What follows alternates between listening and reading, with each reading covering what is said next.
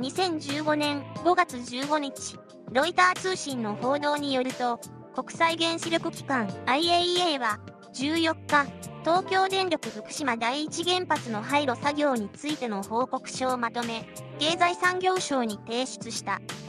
報告書は、廃炉作業の進捗状況は改善しているとしたが、放射性廃棄物や汚染水の管理などについては課題が残っていると述べている。この報道に、米国のネットユーザーがコメントを寄せている。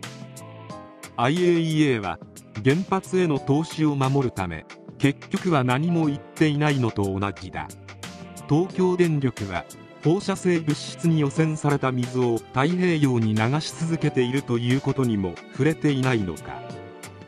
捕鯨に時間を費やしていなければこの問題はもっと改善されていただろうと思う食品が安全かどうかを確認してほしい。